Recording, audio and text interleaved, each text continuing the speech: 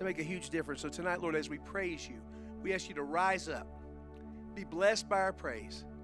And then, Lord, prepare us as we leave all of our stuff behind as we enter your gates with thanksgiving, your courts with praise. We enter into your holy of holies to make contact with you, Lord. And we know we will be able to say, We have surely been in the presence of the Lord. And we'll know that we leave this place more like Jesus than we came in. That's our goal. We thank you for all that you do for us. We give you this time. We give you our hearts in Jesus' name. All God's people said, Okay, if you love him, give him an offering of praise. Come on. Get those hand clap units ready.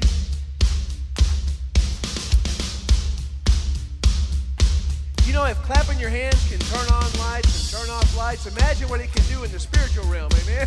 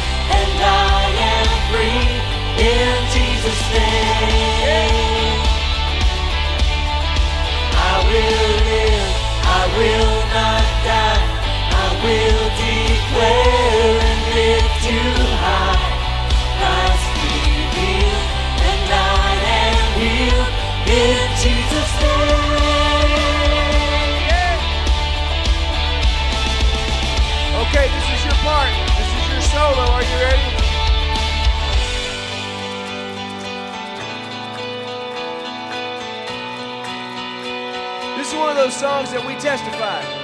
You know, the devil's listening, right? This is when, like Kathy said this morning, you get to tell him. You get to declare a few things. Amen. You get to remember that position Pastor talked about this morning. Be redemption minded. Let the words of your mouth match what's already in there. Let's go. Come on. Hallelujah. Fighting for us, pushing back the darkness, lighting up the kingdom that cannot be shaken. In the name of Jesus, enemies defeated, and we will shout it out, shout it out. God is fighting for us, pushing back the darkness, lighting up the kingdom that cannot be shaken. In the name Jesus, enemies defeated, and we will shout it out, shout it out. God is fighting for us, pushing back the darkness, lighting up the kingdom that cannot be shaken.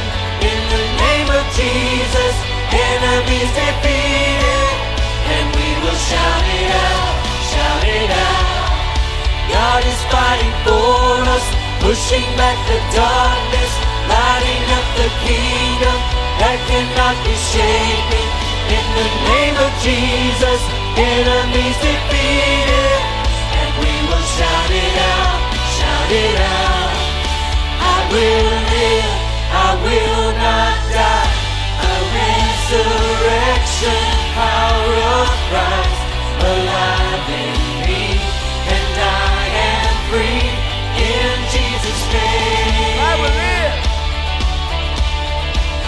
will live, I will not die. I will declare and live too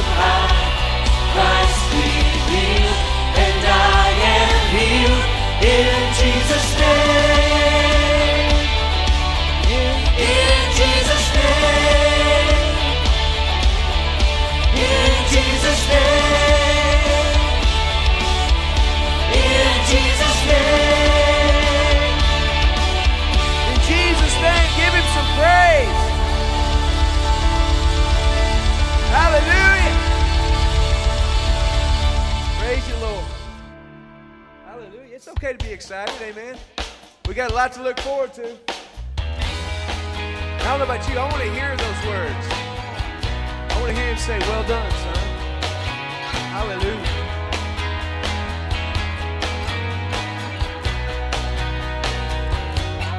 I wanna hear you say the words to me, well done. I wanna hear you say,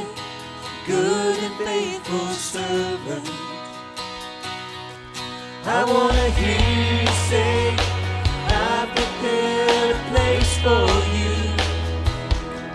Let all the treasures of this world fade away. Jesus, you are my reward. To hear your voice on that day is all I'm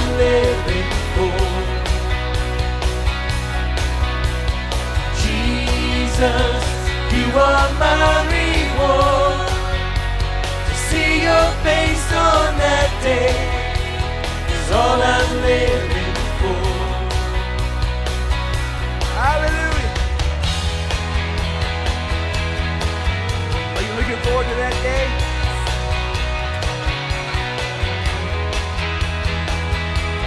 I want to hear you say the words to me, well done. I wanna hear you say words to me, well done. I wanna hear you say, good and faithful servant. I wanna hear you say, I've prepared a place for you. Let all the treasures of this world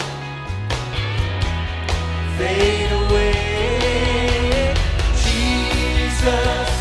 You are my reward. To hear your voice on that day is all I'm living for. Jesus, you are my reward. To see your face on that day is all I'm living for. In the twinkling of an eye, the twinkling of an eye, we'll all be changed. We'll meet you in the sky. We will see you face to face.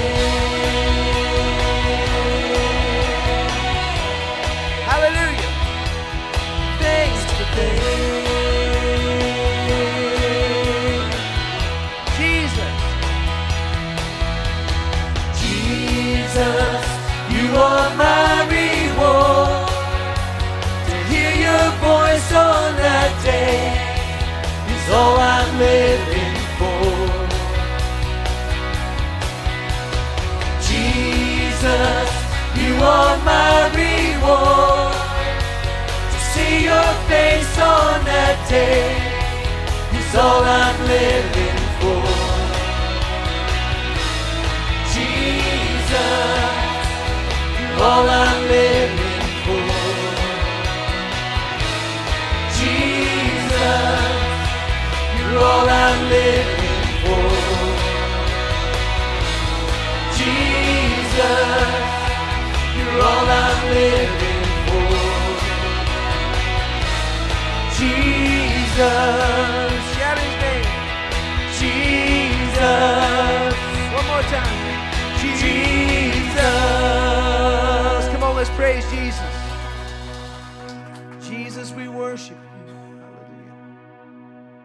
know, sometimes that chorus is a little better slow. Jesus, you are my reward. To hear your voice on that day, coming soon, is all I'm living for. Jesus, you are my reward. See your face on that day is all I'm living for. Jesus, you're all I'm living for. Sing that to him.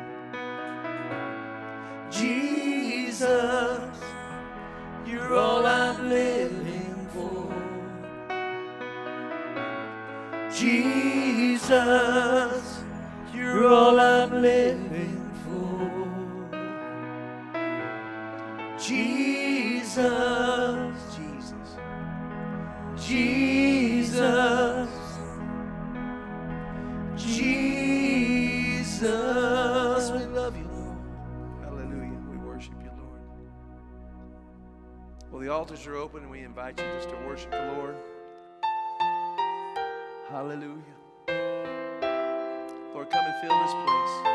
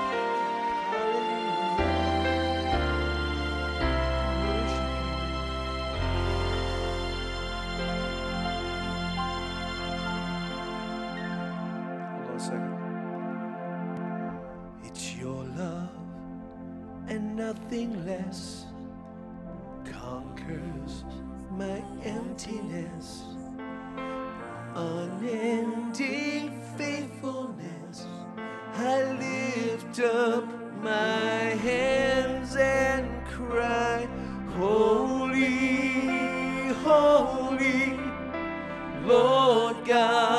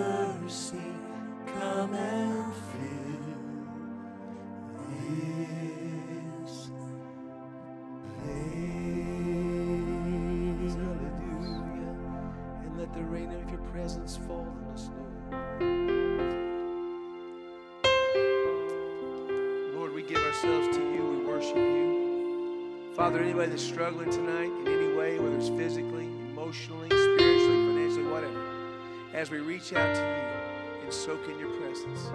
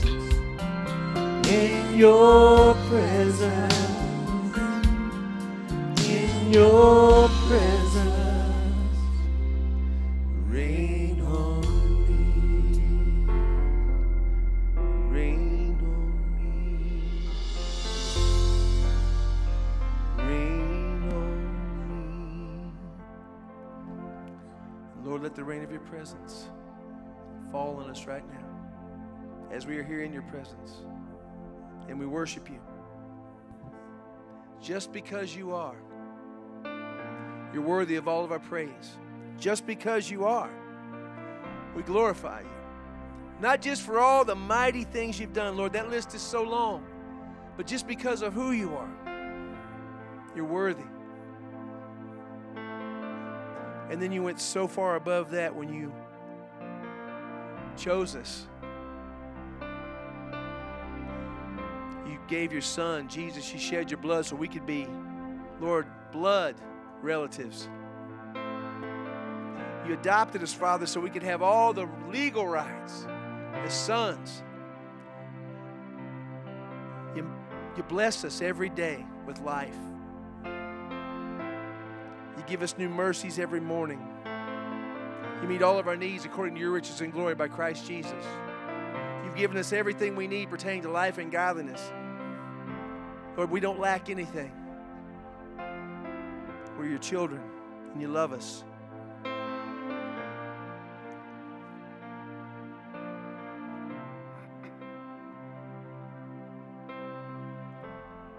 There's a song we used to sing years ago.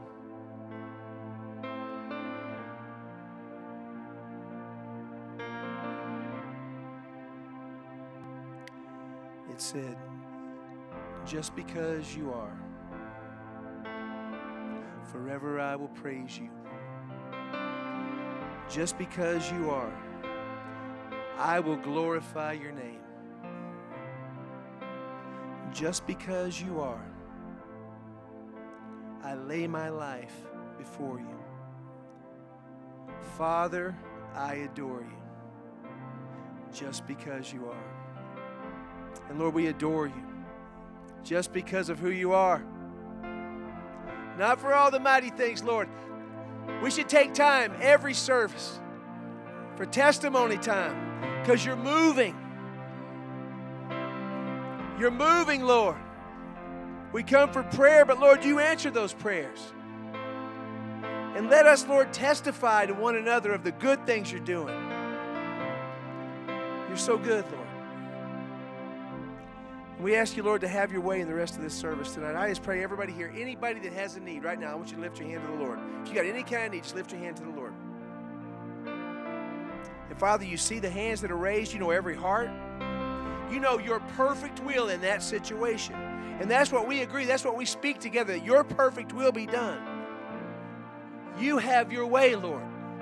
You bring your will to pass in our lives so that we can be all you created us to be, so we can have everything you want us to have. And Lord, that we can interact with the people you send in our path and be light and be salt and bring life. And Lord, I speak healing in every area physically, mentally, emotionally, spiritually, Lord.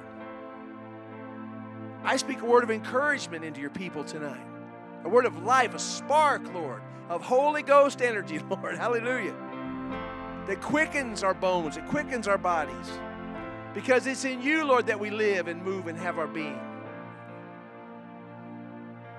We just ask you, Lord, to have your way in us. Your kingdom come, your will be done in every circumstance and situation, Lord.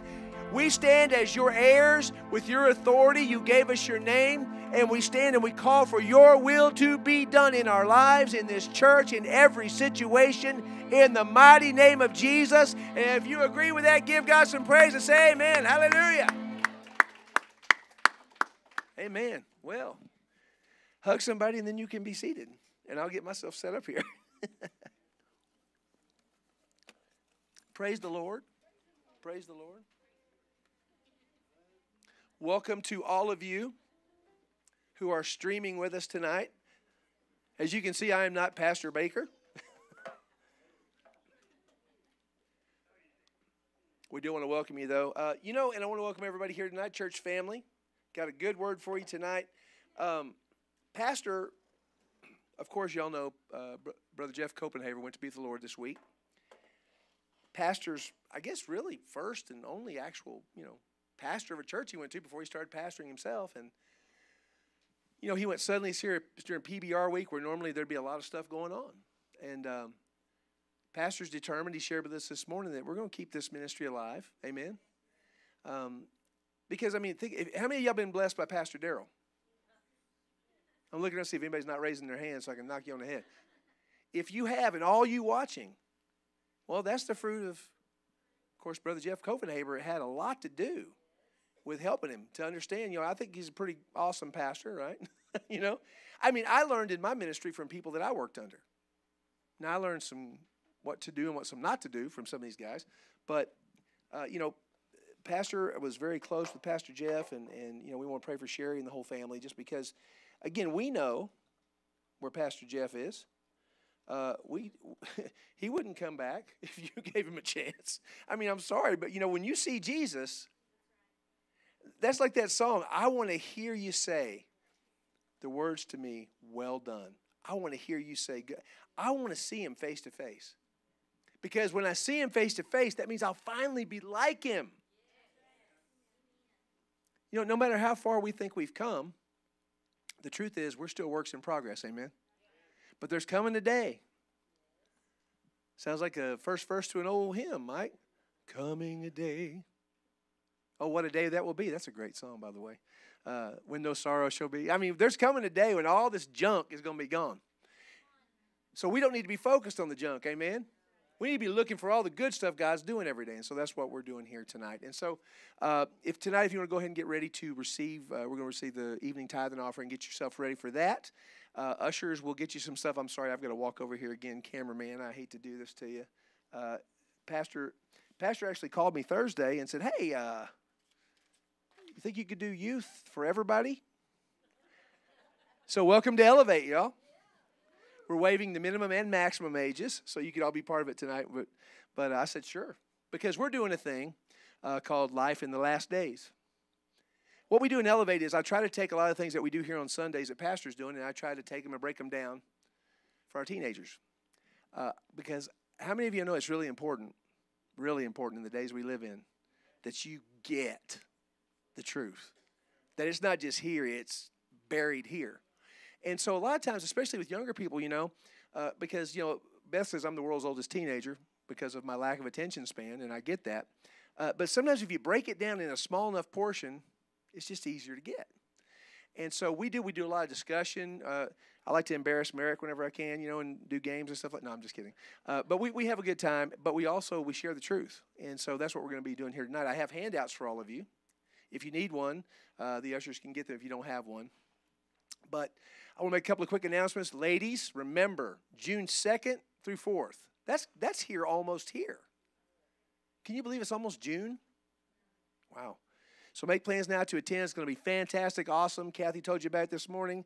It's going to be great. I could not possibly put over as awesome as it's going to be, so we'll move on. Uh, Pastor, of course, has gone to attend that service for Pastor Jeff Copenhaver uh, tomorrow morning. If any of you are interested in going, those of you new Pastor Jeff, it's at the Cowboy Church of Erath County in Stephenville tomorrow morning at 10:30 a.m. But Pastor will be back here tomorrow night for prayer. All right, are y'all ready? Everybody ready? Stand to your feet.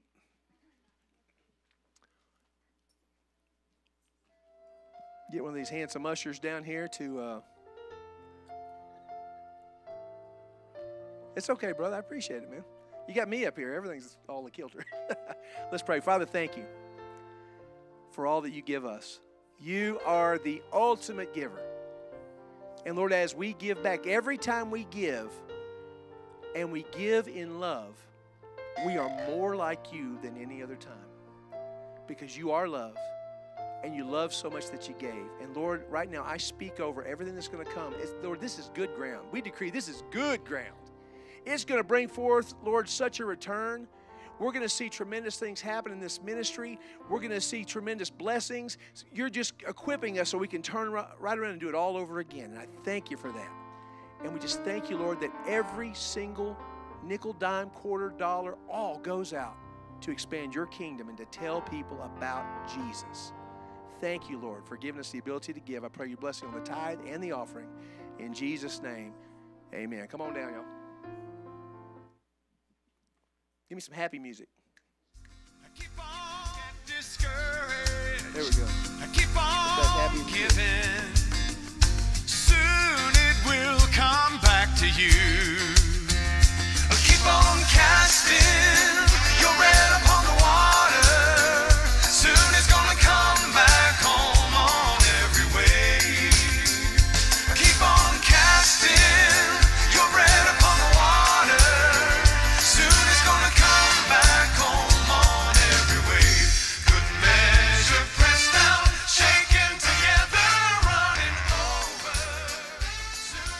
right, everybody, stretch your hands towards your gift tonight. Come on. Father, thank you. We thank you that you supply all of our needs. Lord, we have more than enough. And we believe your word. And you said when we sow into your kingdom, when we give, it'll be given back. Good measure, pressed down, shaken together, running over, shall men give unto our bosom, and then we receive it and turn around and gladly give it again. I call every gift blessed in Jesus' name, every giver blessed in Jesus' name, and thank you for the great reports that are going to be coming forth. And thank you, Lord, for leading us always in the path of righteousness for your name's sake. And thank you for raising up CFF as a lighthouse in this day. In Jesus' name, amen. You may be seated. Praise the Lord. I'm excited. I was going to do a special song for you tonight, but I can't because it's a little too high for me to sing. Um, how many of y'all know I like to take. Ooh. How many of you know I like to take?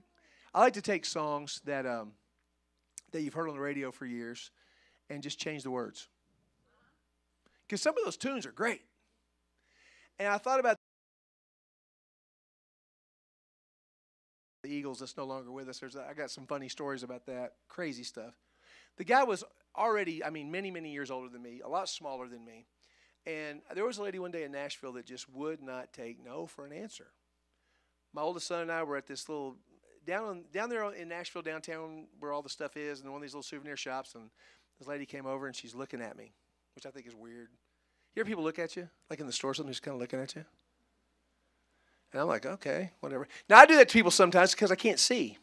Because I'll sit there, somebody will walk up, I'll be doing this, And that face, look at this face. And it's just because I'm trying to focus and see who it is I'm looking at. But anyway, so she comes up, she goes, Excuse me, um, my husband is probably your biggest fan. Okay, that's cool. And I just wondered if is it possible for, for him to get your autograph. And I said, Okay, but let me ask, who do you think I am? Well, well Glenn Frey. Yeah, I heard that before. I said, ma'am, I'm not Glenn Frey. Oh, come on. I, we're not going to bother you, I promise. We're not going I don't want any pictures. I just, just, if you could just sign this for him. I said, ma'am, I promise. I mean, I can show you my driver's license. I'm not Glenn Frey. Please. And I'm sitting there going, should I just sign the paper? Because what's happening is this guy already had kind of a reputation for not being kind of a really nice guy sometimes. And probably because of people like me that were, you know, I wasn't trying to be real. I was like, look, I'm not who you think I am. Come on. And I said, ma'am, I, I'd be glad to sign it, but I'm not. Okay, fine. She walks over and I hear, and I, I grab my son going, did you? He's laughing. He's just cracking up. He goes, what was going on? I said, well, she thought I was Glenn Frey. And I could hear the woman say, well, he says it's not him, but you know how them Hollywood types are.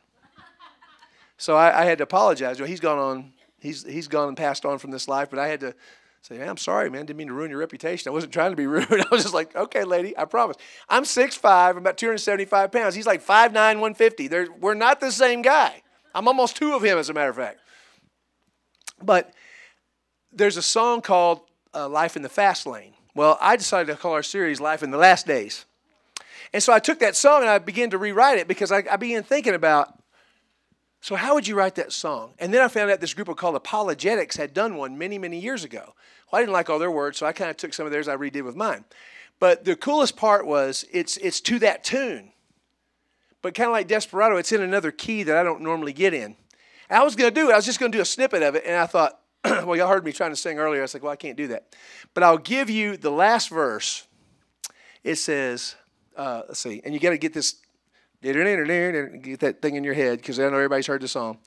But it said, got so much to tell you, so listen up, church. Man didn't heed God's stop sign, took a turn for the worse. If you're a Christian, baby, you don't need to fear a thing. If you're not, go read the Bible because there's more than I can sing. There's coming a false Messiah. The people will think he's Christ, and they'll all take his number, but they'll all pay the price. They'll look up and they'll see Jesus. And they know that they've lost because he won the war when he was dying on the cross, and now it's life in the last days. Don't let it make you lose your mind. So I thought that was kind of fun. but I just thought, you know, there's any way you can communicate this. And this is something that a lot of churches, like pastors, that don't talk about anymore. We don't talk about the last days. And so there's lots of confusion. There's people that don't know the difference between the rapture and the second coming. There's people that pre trib, mid trib, post trib, no trib. I mean, they, they just don't know. There's a lot, if you watch Christian television, you would just think there's going to be this glorious thing where we're just going to usher Jesus in. And I thought, did you not even read Matthew? Did you not read Revelation? I mean, that's not going to happen like that. So I'm really glad that Pastor's been sharing because in the last days that we live in, we need to know what's going on. Amen? So we're going to be mostly, if you look at your notes, in James chapter 5. Uh, we got a couple other scriptures to get to before there, so you can go ahead and flip over to 2 Timothy chapter 3.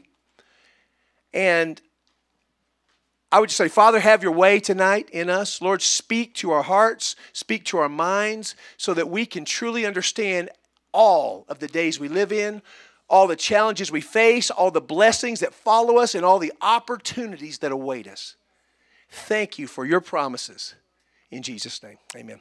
Um, whenever, I, whenever I get into a book, and, and I always like to talk a little bit about the author of the book, okay? So, James, we're going to be there. You know, there was there was a, a few guys named James in the New Testament. Remember? There was James, who was the brother of John, the sons of Zebedee, the sons of thunder. He was actually known as James the Less. There was James, the son of Alphaeus, who was another disciple. And then there was this James. This James, who church history tells us was the half brother of Jesus. He was someone, he was also the brother of Jude, and he was the guy that led the church in Jerusalem. It was the same James who Paul tells us in 1 Corinthians 15 received a special resurrection, a resurrection visit from Jesus. Can you imagine? And obviously, that was the point where James began to believe. from what you read in Scripture, his brothers didn't seem to be really behind his ministry. That's always disappointing when your family's not behind what you're doing, you know. Remember, they come to get you because they think you're nuts, you know. And but but James and Jude both obviously figured it out, and you find out, well, yeah, because when Jesus appears in that glorified body, uh, it's kind of hard to dismiss that. And so James writes this book, and I'll say this about James: I love the book of James. It is practical, it is personal. It's uh, it's it's the New Testament version of Proverbs. It is a book of wisdom, and being such, it's a book of how to's. Now, how many of you guys, I'll just ask, and ladies, you ladies go in to cook, you don't need a recipe, you just go and you cook. Or you guys, you're going to fix something or build something, you just go in and do it. You don't need instructions. If that's you, raise your hand. Okay, the rest of us? James is a book of how to's. It is a book of instruction. It is practical. It, it shows you, and, and see, I love precepts. Pastor and I talk about this. I love precepts. I love those. But man, if you can tell me how to do it, if I'm trying to do something and I haven't done it in a long time or ever, and I can see a video or I can watch somebody do it successfully, I love that. But like we were over at Terry and Renee's building bookcases the other day. And they're just those little cheap bookcases, but you know, they're come from different manufacturers. And so they're a little bit different and they go together a little bit different. And so you knock one set out, then you get two more that look the same, but they're not the same. And then Pastor brought over some metal shells, and we're trying to put those things together. And I meant to tell him he left us a little surprise. There was the, well, it was a former furry critter. Did y'all ever seen my son, the big one? If you ever want to see him tap dance, when that little dried up show, I mean, it's pretty funny. I didn't see it, or I'd have probably done the same thing. Um, but trying to put those things together and then trying to figure out how these little plastic clips go together when they're not together because they're apart and scratching your head and there's no instructions, you know. So I love those. I love how to videos. James is the how to instructional video of the Bible in the New Testament. And whenever I read scripture, and one of the reasons I love James is because I was taught this early on. When you study scripture, okay, and how many of you read your Bible regularly? Raise your hand. How many of you study it? You know, Beth reads all the time. I used to read comic books. That was my reading. Of course, I read the Bible and I read other kind of books like that. But when I read the Bible, I'm always studying. I've, I've always done that. I'm not reading it for pleasure. I'm reading it to get something out of it. And so I was taught early on when you read the Bible, like the Bereans, you should study the Scripture. And you should always ask two questions when you read a passage so what? And now what? So you read this passage of scripture, so what? Well, that sounds rude. No, so what? So what does that mean to me? So how does that apply to my life, to my circumstances? So how can I make that work? And then now what? Now, what will I do with this truth? Now, how will I put it into practice? Now, who will I share it with? And whatever you get in scripture, if you can place yourself there and you can read it and you look at it go, okay, how does this apply to me? The entire book of James is telling you how all the stuff you've learned as in Christ applies to you. It's how the practical way to live a life of faith. Because James will tell you throughout his book, if you read it, that if your if your life of faith doesn't produce something, it's not worth anything. Yeah, well, I believe. Okay. Good. Show me. Remember what he said? Well, you believe you do good, but the devils believe too. And you know, they actually tremble when they hear the name of Jesus. You know what I'm saying? So it's not just about believing or what you think you know, it's what can you what can you get from here to here and make work in your life. Amen. And I don't really tell people to write stuff down a whole lot, so I put this on your sheet. I said the Bible is not just for learning, it's for living. It's not just for learning. It's the, the verses aren't there just so you can memorize them. It's so that you can live them out. And that's the consistent theme of James. James actually encourages God's people to act like God's people. Ooh, that's meddling there. We should act like what we say we are. Otherwise, what are we? Well, I'm identifying as a Christian today. you know, you hear that all the time. I'm identifying as something. When I was a kid, I used to identify as an astronaut, a superhero. It means I was pretending. A cowboy. I did. I had I had a cowboy hat everything, man. And little stick horses. That's pretty cool. boots. I had moccasins too. I was usually the Indian in the Cowboys and Indians thing. Um, that my sister would try to scout me. Um, it was fun. Um, but evidence of faith is the fruit in our life. You can say you love God, you can say you're a Christian, you can say all these things, but there's got to be some fruit. Otherwise, what are you doing? You're playing a role. You're playing a game. And so it's like what I shared last time I was here. We talked about walking like Jesus walked. Remember? If we say we abide in him, we need to walk like he walked. Jesus said, if you love me, remember what he said? Keep my commandments. So James makes it clear that a life that doesn't have fruit is a useless life. I don't want to be useless. Amen? Amen? So in James 5, just prior to our text, the first six verses, and we're not going to go there for the sake of time because we're going to be out early tonight. Um, he is talking to rich people. Now, this, this letter is written to the 12 tribes, so he's writing to believers, but he's also addressing unbelievers. He's addressing everybody. He's talking to the church, and how do you know anytime you talk to the entirety of a church, you're talking to all types of people, all kinds of places in their walk with Christ. You got some that don't even have a walk with Christ. You got some that just got their membership card, and you got some that are life members. You know what I'm saying? You got people that really practice it, and some that are figuring out how, and some that aren't figuring out how anymore. You know, repent is such a scary word. And yet it's absolutely necessary for all of us. I don't know, I have not known anyone in 38 years in ministry that hasn't made a mistake or messed up or sinned or done something wrong since they've been a Christian. I can't think of a single person. And when they did it, what do they have to do? Repent. If I'm driving from here to wherever and I get off the path, if I don't turn around, what happens? I never get where I'm going. And God has a path for us. Now, man has a way. We've talked about this before. There's a way that seems right to man, but the end is destruction. Man's way never ends well. There's a narrow path that leads to life. Few that be that find it. And God has given us a map in His Word to get there, okay? So He wrote this letter and He's telling people look, guys, y'all are laying up all kinds of trouble for yourselves. You're going to bring judgment on yourselves. So you need to stop. You need to repent. I mention that because it's the first six verses of the chapter we're going to be in. But I would I would preface it by saying, don't focus on it. Because one thing that the Lord showed me lately is we spend far, far too much time focused on everybody else and not on ourselves. You know, I'm gonna I'm gonna worry about what this person, that person, how they're living there, how they're doing their thing. Uh, no. No, no, no.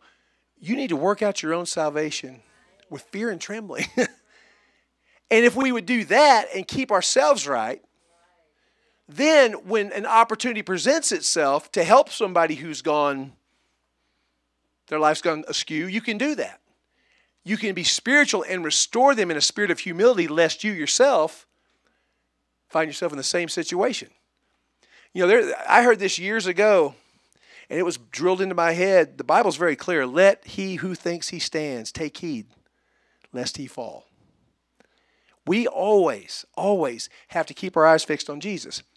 The reason I'm saying this is because, folks, and this is what we're going to get into tonight, we live in some dangerous days. And I really don't think people realize it.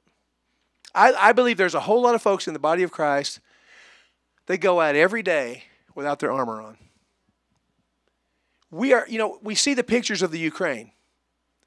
You know that it's worse spiritually here for us. We see the physical devastation, and of course, they've got all kinds of persecution there too. But in this country, right here in America, right here in Texas, in a spiritual sense, we've got an enemy that's waging war on us there's incoming all the time, and we're out there trotting out there just going to check the mail and do something. We're out there in our shorts and our flip flops and no armor whatsoever. Never even thought to put it on. And I don't think we appreciate the gravity of the situation that we're in. 2 Timothy chapter 3, verse 1. But know this that in the last days perilous times will come. Okay, well, I can help you. Know this they are here. How many of y'all believe the last days are here? Raise your hand. In the last days, perilous times will come. now, I want you, before we get to James 5, I want you to flip over one more place, Matthew chapter 8. And I want you to take a really close look at the only other place the word for perilous is used in the New Testament. This particular word for perilous that Paul gave to Timothy, the Holy Spirit used and said, use this word. This word is chalepoi or chalepos is the is the Greek word it comes from. The other place it's at, Matthew 8, verse 28. When Jesus arrived at the other side in the region of the Gadarenes, two demon possessed men coming from the tombs met him. They were so chalepos, they were so violent, so fierce, that no one could pass that way. The same word. There's coming perilous times. These two men were demon possessed coming out of tombs, and they, they uh, presented a perilous, dangerous situation fierce, violent, dangerous, perilous, demonized. And, folks, that's the days that we live in. Well, what are you talking about? If you don't know what I'm talking about, I would advise you to take a look outside. Put your helmet on. Just peek out the window. See what's out there. It is unbelievable. In the very last days that we live in, society's falling apart. Culture wars, you know, morals collapsed everywhere. Uh, it's just going to get worse until Jesus comes. You know that, right? It ain't to get better. And Christians are under attack. I, I subscribe to the Voice of the Martyrs and have for many years, and I get their emails. And I read a thing the other day, it blew my mind. It was in 76 countries, there are over 350 million Christians, our brothers and sisters all over the world, that are facing serious, serious persecution, especially in like areas like Nigeria, Africa, of course, in the in the Middle East over there, the Sudan areas, stuff like that. They're being kidnapped beaten, robbed, assaulted, killed. Why? Because they're Christians. Because they're Christians. And in this country, folks, we are marginalized and labeled as haters because we tell the truth. Now, I would say, I, I, really, I think if sometimes if we'd speak the truth in love a little bit better, we might not catch quite as much heat. But the truth's the truth. And no matter how you place it, some people don't want to hear it. They don't want to receive it. And because we have all ages here, I'm not going to get into this next part. But you know, the Bible is is hate speech. According to different places, different jurisdictions, the Bible, if you quote the Holy Bible, God's word, you are engaging in hate speech. Canada passed a law in January that there's a particular way of life that the Bible says is no, no, no. And if you try to counsel someone out of it, you'll be punished by up to five years in prison. However, that law doesn't say you can't counsel them to do that lifestyle, but you just can't counsel them away from it. And so, I guess back the first year, a whole bunch of pastors in this country all preached on that subject. And our good friends at uh, YouTube uh, even has gotten in on this now. And they actually censored this one pastor's video, took it down.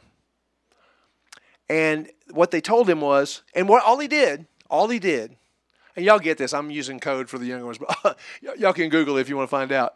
Um, they cited Genesis 1:27 when God created them man and woman, and Jesus quote in Matthew uh, Mark 10:6 when he said, "From the beginning of creation, God made them male and female," and for stating a scientific fact about chromosomes X, chromosome Y, you know. And this is what YouTube said to him. They took it down, saying, "Our team has reviewed your content, and unfortunately, we think it violates our hate speech policy." We've removed the following content from YouTube. God and science agree. There's no such thing as you are either male, whatever. That's one area God and science. You know, you know the truth is, if you want to be truthful, God and science always agree. God is the God of science. he created it. You know what I'm saying? It's always going to testify to Him. Um, you know, follow the science. Well, this is what it says. Yeah, but we don't want it to say that, so we're going to change it. Folks, we are firmly in the day Isaiah prophesied when he said, Woe to them that call evil good and good evil. We're there. You're right in the middle of it, okay? Now, all this goes back to what James is talking about in James chapter 5. So if you look in verse 7, I'm not trying to scare anybody. I'm not trying to get anybody on a downer. I'm trying to make you aware of what we're facing out there, okay? We're more than conquerors. Hallelujah. But we're going to have to fight. Is that okay? That's why we come in here and get filled up. That's why we come in here and we praise and we get victory and stuff because we got to walk out that door. You know, sometimes you just want to stay in here. and not, but you have to go out there because Jesus said, "Go into all the world." He didn't say stay inside the church. He said, "Go into all the world and preach the gospels." Okay, so James is writing this to believers that are under attack. In his generation, they were under attack. You know that? I mean, worse than we've seen to this to this point. Now we don't have to worry. Understand, please. We don't have to worry about it, right? Because we have a secure, confident faith that our God's going to be with us. He's going to watch over us. He's going to protect us. Amen. If we understand about Psalm 91, amen. We know his promises are true. We know he said he was going to be our rock and our fortress and our deliverer. And so we can live with an extra measure of, of, of safety and security because we understand who we are in Christ. But we need to be wise. Okay, so let's look here. James 5. All that was leading to this. Here we go. Therefore, be patient, brothers, until the coming of the Lord. See how the farmer waits for the precious fruit of the earth, waiting patiently for it until it receives the early and latter rain. You also be patient. Establish your hearts, for the coming of the Lord is at hand. Do not grumble against each other, brother, brethren, lest you be condemned. Behold, the judge is standing at the door. My brethren, take the prophets who spoke in the name of the Lord as an example of suffering and patience. Indeed, we count them blessed who endure. You've heard of the perseverance of Job and seen the end intended by the Lord, that the Lord is very compassionate and merciful. But above all, my brothers, do not swear either by heaven or earth with any other oath, but let your yes be yes and your no be no, lest you fall into judgment. There is so much that we could unpack right there. So much. But I believe there are three main takeaways I want to share with you tonight out of this passage from James and out of based on the days that we live in. Number one, we need to be prepared. That's what Pastor's been telling us about this last day's living. Well, you got to be prepared. You remember the story? How many of y'all remember the story in Acts chapter 1? I think it's verse 11. when Jesus has ascended, he's gone up, and they just watched him. And he went up, and then he was gone, and they still were watching. well, hey, he said he was coming back. So those guys are getting cricks in their neck, waiting for him to come back. Wow, can you imagine? It's been 2,000 years. and, the, and an angel, guys, send an angel say, Men of Galilee, why do you stand gazing into heaven? This, say this with me, say, this same Jesus who was taken up from you to heaven will so come in like manner as you saw him go. This same Jesus you know, Pastor was talking this morning. Jesus spent 40 days after he rose going around. At one time, there was as many as 500 people there. Go to Jerusalem, wait for the promise of the Holy Spirit, then go into all the world and preach the gospel to every living creature. Make disciples in my name, man. Baptize them. Hallelujah. Do that. And then 120 showed up there, but there was 500 at one place. And how many others did he appear to? And he said, Go. And so when we're talking about being prepared, there's two parts of that. Number one, we got to be prepared for his return. Okay, Matthew 24 44. Jesus was speaking there, and Pastor preached on this not too long ago. Therefore, be ready, for in such an hour as you think not, the Son of Man comes. So, my advice, and I'm definitely not going to go repreach all this for him, is don't be a foolish virgin. Y'all remember when he's talking about that? Everybody look at me. He's coming back. You know this. The bridegroom is on his way back. He's out there, and you don't have him on your phone where you can track and see where he is. You just know he's coming back. You can't pick him up on there. Beth and I do that because she'll go. The other day, uh, Joe took me to a movie because I was kind of stressed out. And she goes, Are you at the movie? I went, Oh, yeah, Joe took me because she can see where I am. Well, we don't have that with Jesus. Don't you wish we did? We would know, oh, he's there. If we knew how close it was, I think a lot of us would be scrambling right now. If you got if you got company coming over in your houses, mm, whatever. You're trying to get it ready. You're scrambling around. I'll come home sometimes, and the boys will have been there, and I'll come in and see the you know dishes in the sink. I know Beth's coming home, so I'll scramble in there, try to get everything straightened up, so it doesn't look bad when she comes in. Right? How much more house cleaning do we need to do? One of the things is you better not just get your house clean. You better get your lamp full, and then keep it full, and you know where to fill it up, and you know how to fill it up. If it's empty, y'all, fill it up. You know how. If you don't know how, come up and ask one of us after. We'll tell you. But get that thing full and keep it full because he's on his way back. Amen? And then he told us to go. Matter of fact, it's one of the signs of the end end. Again, there's rapture, that's one thing. There's second coming, that's another thing. But he said at the end end, the gospel have been preached in all the world. We're getting close. I would dare say that via TV, internet, etc., there's probably not a whole, we're probably at 99.8%. I mean, it's ticking down. And the only reason he's delayed is, is because he wants everybody who will to be saved. Which means we should be doing what? Talking to somebody, telling somebody, preaching the word. Be prepared to share the gospel. Look at 2 Timothy chapter 4.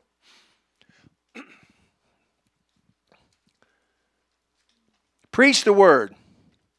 Be ready in season and out of season. Convince, rebuke, exhort with all long suffering and teaching.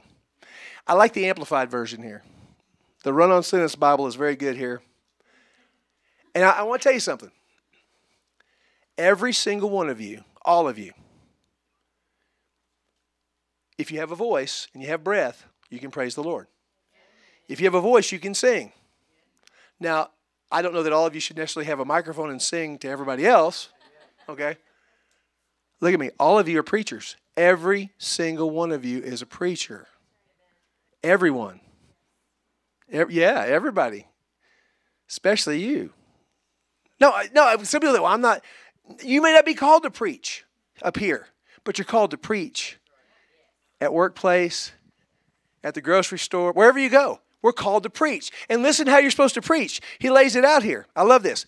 Preach the word as an official messenger. Well, I'm not a pastor. Well, you're an ambassador of Christ.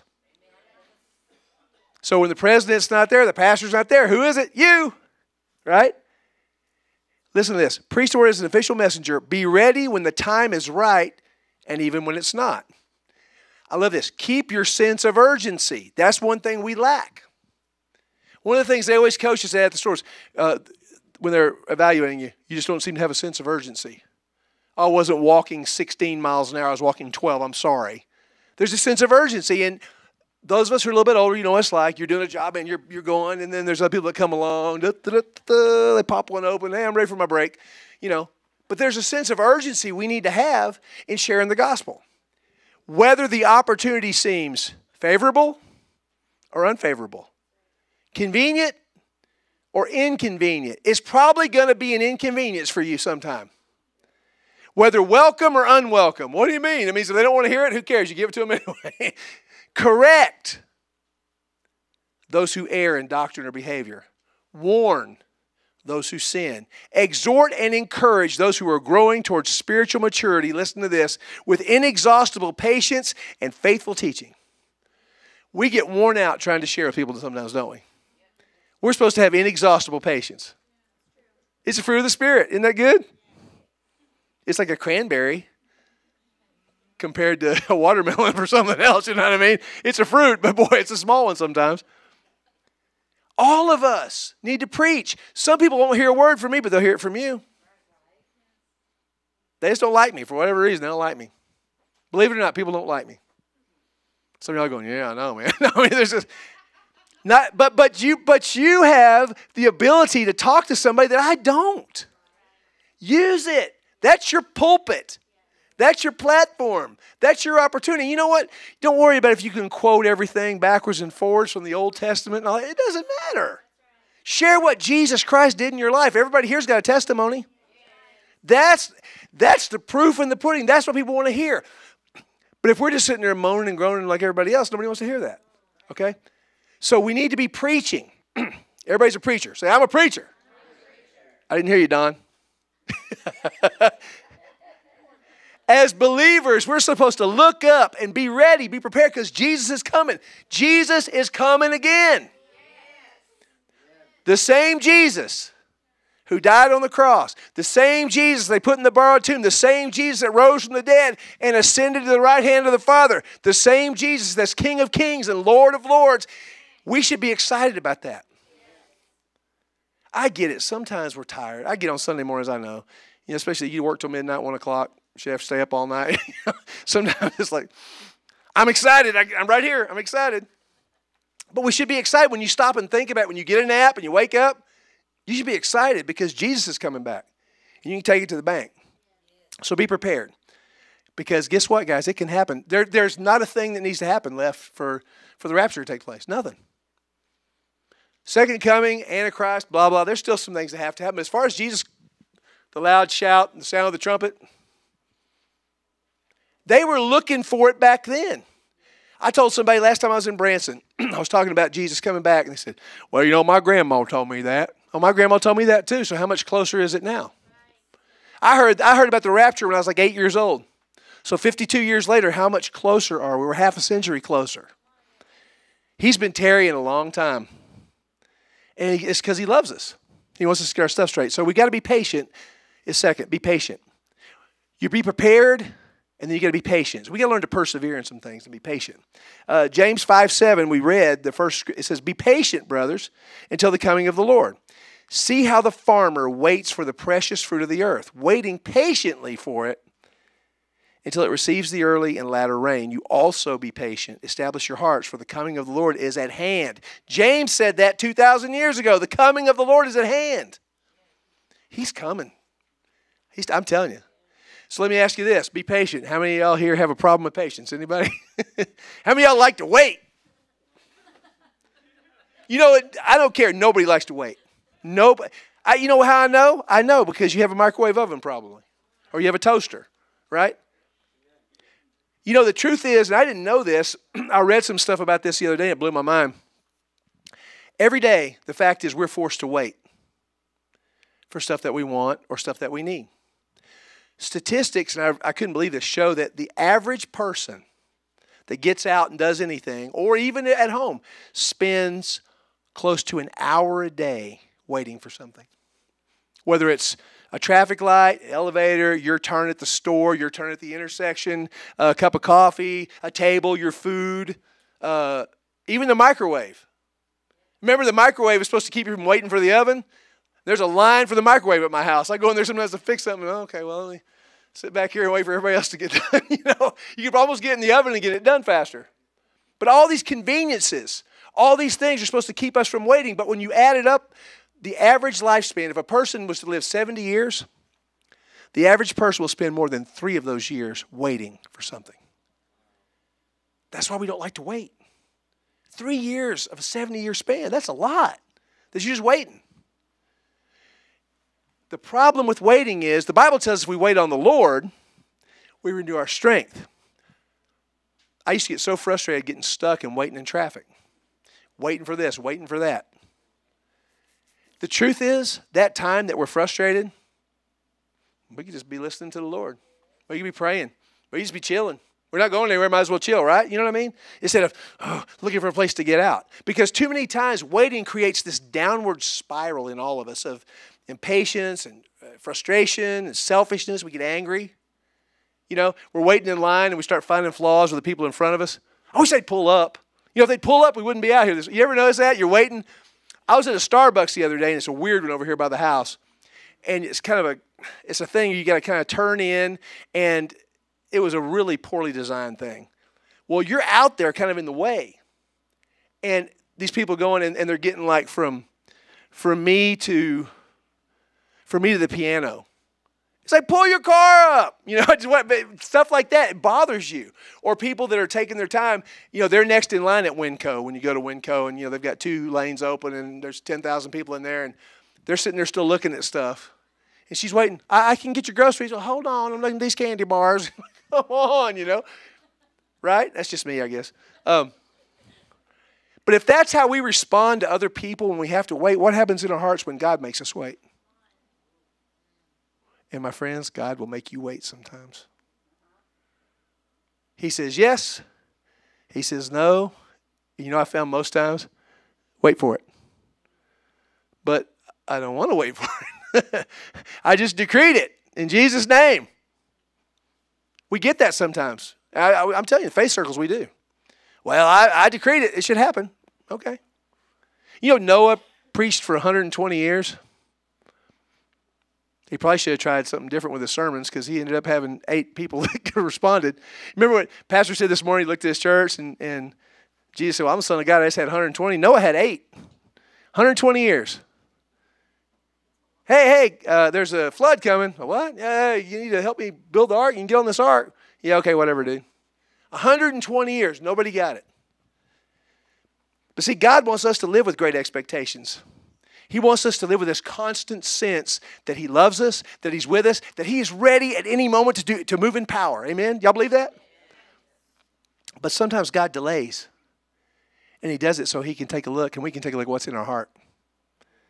He waits on purpose. And it does, it's not that He doesn't want to bless us, He's got a greater purpose. And I want you to hear this. He's after a purpose greater than our immediate blessing. He's after, He doesn't just want to fix our problems, He wants to fix us. Huh? Fix me? Oh, yeah. Every day we should be being molded more and more into the image of Jesus Christ. And if we're not, then God has to stop and He has to fix us. When you think about Joseph in the book of Genesis, it's a perfect example. God gave him a dream. It was a cool one. Everybody bowing to me. Oh, yeah. And that was God's plan for him. But how many of you know Joseph had a whole lot of growing up to do? A whole lot of changing to do. Now, knowing God as well as y'all know him, right? We know him. We know how good he is. Do you really think God's number one plan was for Joseph to go through all that stuff? No. However, whatever it takes. Joseph had this 2020 vision of what was going to happen. It was perfect. He could see it. But I found out later, I remember uh, one of my old youth pastors preached a message you don't need 2020 vision, you need 50 20 vision. I think, well, I think I have that in my left eye, but he was talking about something entirely different.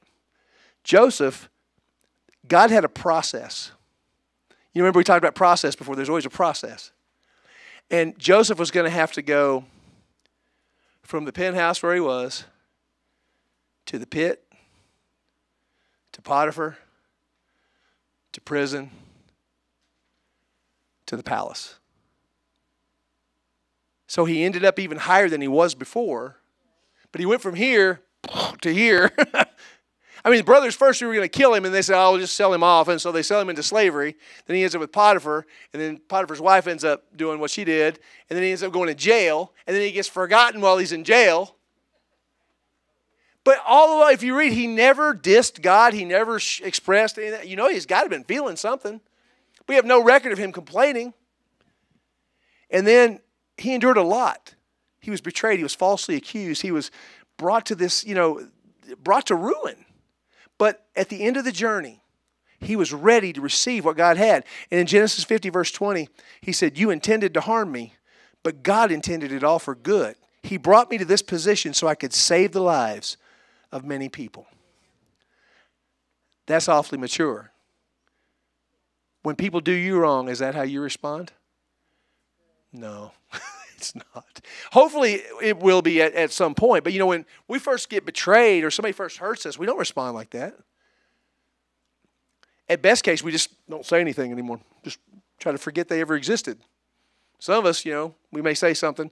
But it was Joseph said, Look, I mean, y'all meant it for evil, but God worked it out for good. We have a promise that, how many of y'all love the Lord? How many y'all are called according to his purpose? That he's going to work everything together for your good. It's going to all work out because you love him. You're the called according to his purpose. He's going to work everything out for you. Does that mean you'll never have to, you'll never endure anything? Oh, no, you will. In this life, we're told to endure hardship like a good soldier of Jesus Christ. But we have to wait sometimes. And we need to wait the right way. We need to wait patiently. We need to wait expectantly because sometimes God needs to renew our strength. We don't even know it. But He wants us to wait. And He wants us to examine our hearts. And He wants us to allow Him to take all the junk out and fill ourselves up with more of Him. And then we're ready to receive what He has for us. But we have to wait expectantly and not reluctantly. You remember I shared, I think it was a couple of times ago, that there's really five steps involved in seeing your faith become reality. Is you have to hear it, and you have to believe it, then you have to expect it. I believe it. Okay, I'm expecting it now. So if I expect it, what am I going to do? I'm preparing for it now. And now that I've prepared for it, I'm ready to receive it. You can hear it all you want to, but if you never take the step, if you don't believe it, if you really believe it, you're expecting it, you're looking for it, just like a kid on Christmas, right? Boy, there, there. That's the kind of excitement we should have as we're waiting on God to move in our lives. We know something good's coming. We know something good's coming. I can't see it, but I know something good's coming. Why? Because God said He was going to do it. That's why James used farmers here. A farmer has to be patient, doesn't he? Anybody ever do any farming? Anybody here? You just take the seeds, you throw them out there, and you just go in the house, sit around, watch some TV, drink some sweet tea. Is that how it works? And you go back out later, and there, there your crop is. You know, I, I realize, you know, cows, they always talk about how cows give milk. Cows don't give milk. You have to take the milk from them. Oh, cows give milk. Oh, they do? They just, they, you set the bottles over there, they just fill them up? No. You got to work it. You got to work that field. You've got to make sure that that ground is good. You got to make sure everything's ready and you plant those seeds in the right season. You have to do all these things. But I want you to understand James says we're supposed to be like that farmer, sowing and then reaping. Some of us are looking to reap and we haven't sowed anything. Well, where's my blessing? Well, where did you sow? Well, but it said that no, it's when you give. Oh, oh, oh. and, and let me tell you something else I found out. God uses both sun and rain in our life to produce harvest, just like He does in nature. The rain sometimes we don't like a whole lot, but it's necessary. You know, John 5 uh, tells the story of a man who had been waiting to be healed for 38 years. How many of you guys are 40 years and under? Let's do this. How many of you are 50 years and under? So imagine waiting all of, more of, or almost all of your life. That you're in a position where you're, I mean, he's handicapped, he's crippled, he can't do anything. And he's been, he went to the place because he heard there's a place for miracles. How many y'all ever went because you heard, hey man, this is a place where God heals people, God, and you go and you go to this place, right? And this guy went there and he was there for 38 years. Dude, you must really be slow. Because I'm just thinking, how, how do these other people who have the same kind of affliction, or what, how do they get in the pool? But this guy was there and he was apparently pretty close by. He had a good seat, you know. And oh, the waters are troubled. Up, oh, somebody got in there. So I want you to imagine for a second, you've been waiting that long. He slept next to a pool where miracles took place, and he never got his miracle for 38 years. When you've been waiting that long, most of your life or all of your life, it's not hard to give up hope. The thing is, sometimes when your blessing is delayed, your life becomes defined by your problem if you're looking to God for a solution and it doesn't come right away, then your situation can begin to define you. And you become, you become that person. And your fear of change can outgrow your hope to get well. Stay, change the status quo. You know, my mom sadly was like that. That was her, you know, uh, her health issues were a way to get her family around her. And we were all busy and working and having kids, everything else, but, but you know, when mom got sick, everybody runs to mom, and that's how, and so she was sick a lot. And she became identified by that. And she allowed all this junk in her life and ended up taking her life at a relatively early age. Because she just, that, that, that sickness and whatever just became like a, it was a, it was a, it was a friendly companion. It was something that she could identify with, but she became defined as that. And that wasn't my mother. She was an athlete. She was all these things, you know, and then later in her life, she just kind of gave up. And I see people do that. You know, Jesus asked this guy, because let me tell you something, when you reach that point, and I tried talking to my mom one time, I said, Mom, do you, I remember when Jesus said, Do you want to get well? Do you want to get well? And you think that's a crazy question to ask somebody who's hurting, who's sick. Do you want to get well? Well, duh. But you know, there's, a, there's an answer to that. Do you want to? Because again, now if you're defined by that sickness or that you're this person, that person, so what if I do get well? Then what? What do I do then? Who do, who do I become then? I know people today who don't want to be healed. I know people that don't want to receive divine help because they're still trying all the natural things. Because they're, you know what? Sometimes they're afraid that if they don't get the divine help, then they're done. But sometimes also people will flee the responsibility for their own lives. I've seen people turn their back on a way of, of deliverance or healing because they weren't willing to pay the price. We got to decide that we want stuff. Amen? We got to be patient. Sometimes, you know, I think sometimes maybe people just have not reached that place that this man was at. He was just like, this was his last deal. Here comes Jesus. How many of you know Jesus will always come to you in a moment of need? He always does. Well, he didn't come to me. Oh, yeah, he did. Did you let him in? He stands at the door and knocks. Always. But that man, when Jesus asked him, he responded immediately. And in that moment, 38 years came to an end because they had not moved his heart past the point of hope. Never lose hope. Always maintain your hope. Wait, waiting for the blessings of God in our life they can fill you with, I'll, put it to you this way they can fill you either with great expectation and blessing or great frustration and bitterness. And that's up to you. Because if Josh and I are standing here and we've been walking and there's this tunnel, and man, we're like, oh, we've been walking this tunnel forever, and we see a light down there, and Josh goes, there it is. And I'm going, yeah, an oncoming train. That's the, either the way out or the train that's going to run you over. And it's, it's your choice. And we need, to, we need to be conscious of the choices we make mentally, of the things we allow. We need to take those thoughts captive. Amen? And never, ever, ever, ever give up. Because Galatians 6 9, and I love this from the, the New Living, it says, Let's not get tired of doing what's good. At just the right time, we will reap a harvest of blessing if we don't give up, if you do not quit we don't have time to get into Job, but you know, God, you know, James mentioned Job, and I'll say this, man, Job, Job gets a bad rap. I've heard faith teachers before that pretty much think he didn't even belong in the Bible, you know. but understand, Job didn't know what we know. He didn't have the benefit of the cross.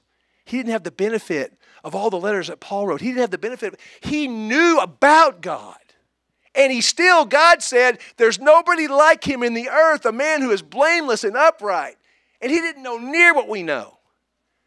And he made a lot of mistakes and he had some bad things that he said, but you know, at the end of the day, he still believed that if God's all you have, then that's enough.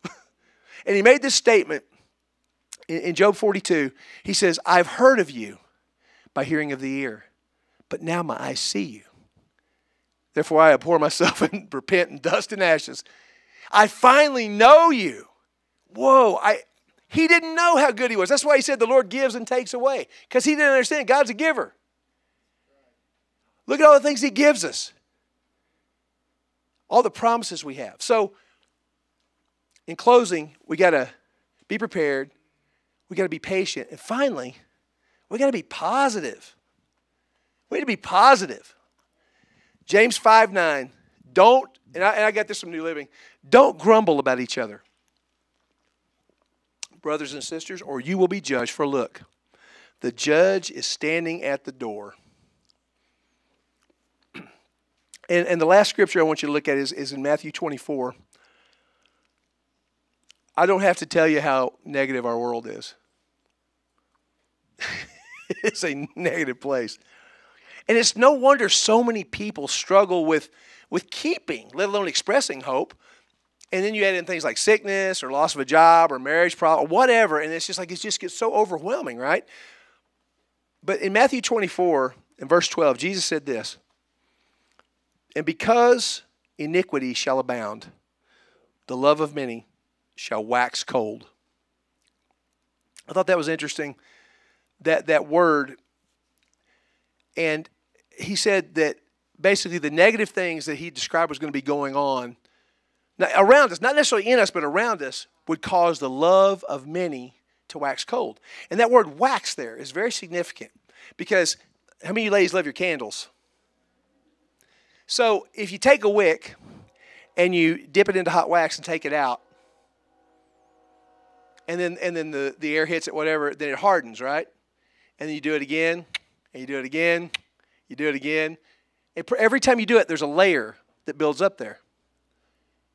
And so what he's saying here is if we lose sight of Jesus and we focus on the negative things around us, then our hearts get dipped into that negativity and come out, and there's a layer. And then we do it again, and there's a layer. And we do it again, there's a layer. And pretty soon, we can't even feel our heart anymore because we're so covered up with worry and, and strife and junk, and it's all because we've allowed ourselves to keep our eyes, get our eyes off of Jesus and onto the stuff. You know, that's why eh, my favorite story always is, is the story of, of Simon Peter when he's walking on the water. And Jesus said, Come. And he said, Okay. And he starts walking. Y'all know the story. And he begins to sink. And then Jesus reached, he says, Help, save me. And Jesus immediately pulls him out of there. And I began to think, you know, he began to sink. He began to sink. It's kind of like that process of waxing cold. It's not an immediate process, it's the every time. And what happened was he got his eyes off because let's be honest, he couldn't have walked on the water if it was completely still. Because you why? Because you can't walk on water. But it wasn't about him. Jesus said, Come. Jesus said, Do it. So it's simply faith in what Jesus said. And if Jesus said do it and we have faith in it, we can do it no matter what it is, no matter how impossible it is. But we cannot allow our focus to be compromised. We cannot allow ourselves to get so hung up looking around at all the junk in the world and, and getting worried about it. Jesus said, Come. And Peter focused on the circumstances rather than the command. And when he did, it short circuited everything. But if you can maintain your focus on Jesus and His Word in the midst of this mess that we live in, I can guarantee you, you'll be walking on water. Because He's promised in these last days, He's going to protect His people. This is an ark of safety in the last days. He does place a hedge around us. He does have angels encamped. He does have blessings in front of us and blessings behind us and blessings on our left and blessings on our right. He does all those things. But we have to be consciously, deliberately focused on those things because the world is going to try to take your attention away. And that way, when you are walking with Jesus in His Word and a doctor gives you a bad report, you can go, no, no, no thanks. No.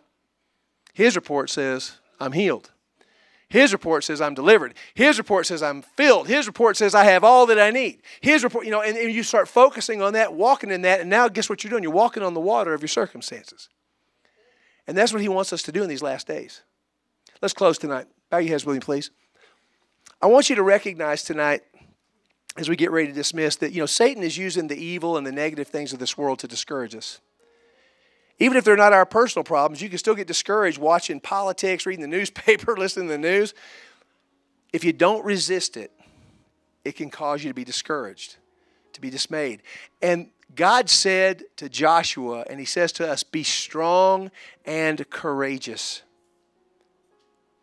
The Bible says in Isaiah 26 3 that the Lord will keep him in perfect peace whose mind is stayed upon him because he trusts in him.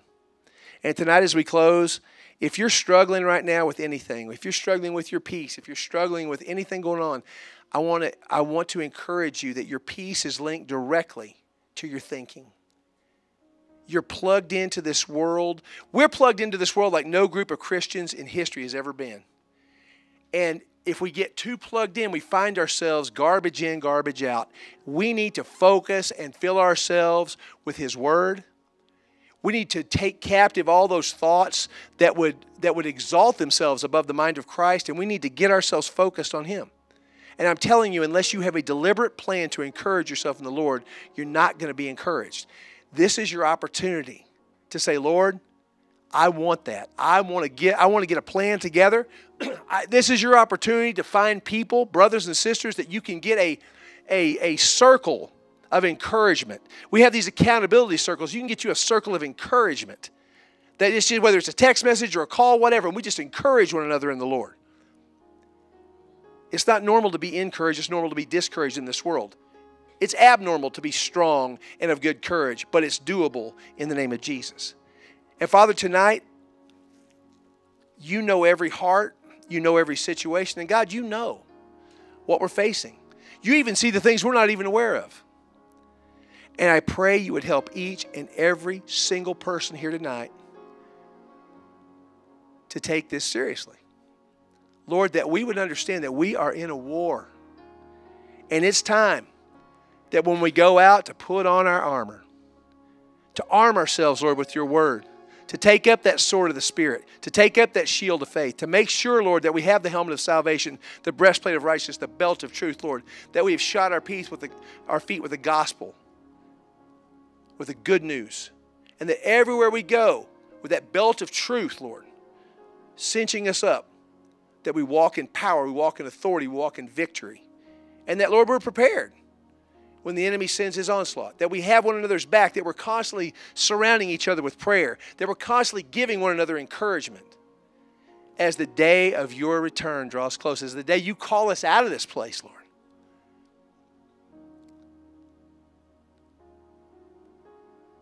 Nobody looking around, just real quick. If, if you're struggling with anything at all, I just feel like the Holy Spirit just prompted me to say this. if you don't really feel like you're ready, if that trump does sound and you don't really feel like you're ready and you're not sure, nobody's looking. I just want you to raise your hand because I want to pray with you. I'm not going to embarrass you. I'm not. Thank you. Thank you. Thank you. Who else? Thank you. Thank you. Thank you, Lord. Hallelujah. Father, I thank you. I thank you. I thank you, Holy Spirit, that you always prompt us, that you always make us aware of it. I, I, I just thank you for these opportunities that we get a chance to stop and look and take a close look. Lord, I want to be ready to fly with you.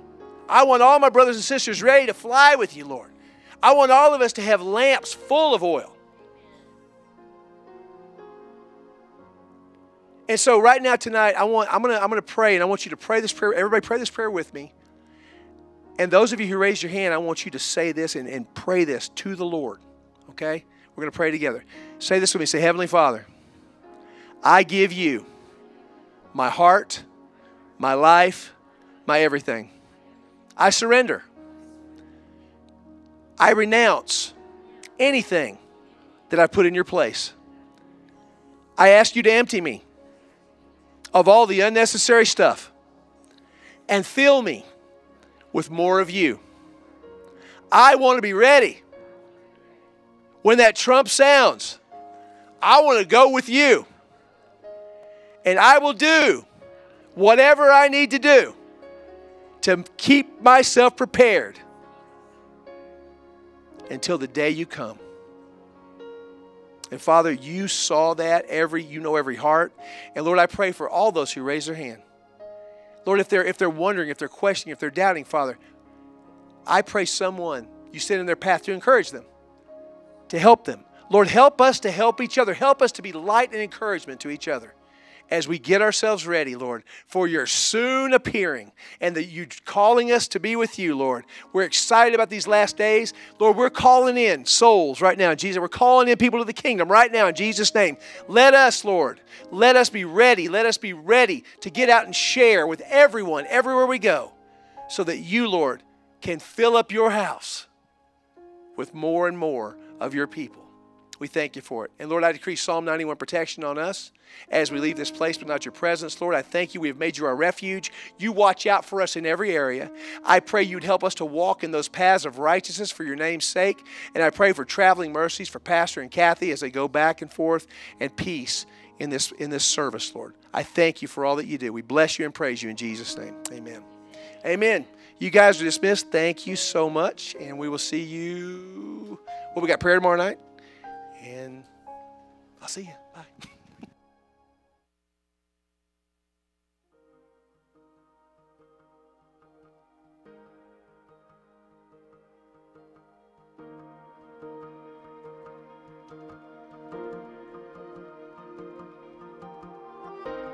I can't find the words, when I can barely breathe, I'm falling on my knees. Heaven help me, heaven help me. When I can't feel you near, when I can't hear you speak, I'm falling on my knees. Heaven help me, Heaven help me. Help me. Help